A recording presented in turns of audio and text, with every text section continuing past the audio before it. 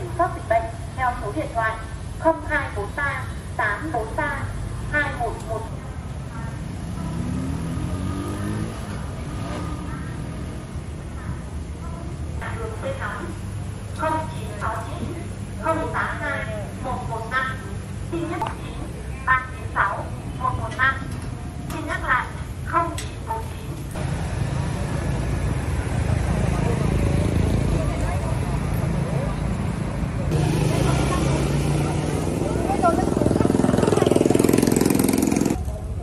em à, làm làm rồi.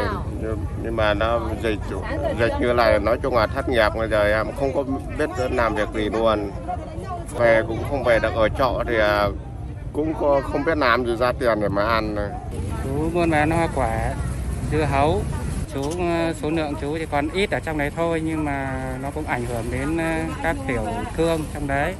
Ra mà không có chỗ đạo bán ở Đại Phúc tỉnh Bắc Ninh buôn dưa hấu từ Sài Gòn ra chợ đầu mối, Long Biên, Hà Nội để tiêu thụ.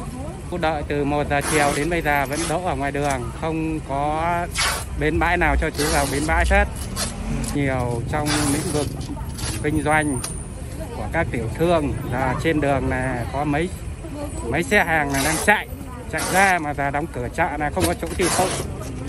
Thôi thì cái dịch bệnh này thì đồng ý vẫn phải cho đóng rồi nhưng mà cái hàng hóa ở trong kho thiết là mình cho cũng, người ta đã lấy ra để bán được đồng nào bán thôi. Đồng ý còn khoảng ờ, tất cả tính phải 10 triệu. Ờ, các cái đồ gồng tỏi củ sen rồi ớt xanh ớt đỏ. Trưa- ờ, trưa nay 12 giờ chúng nghe thấy tin đóng cửa phong tỏa chứ trước cũng có thấy nghe mới đâu.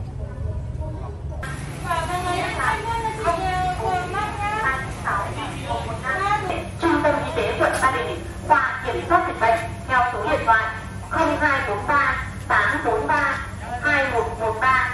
Xin nhắc lại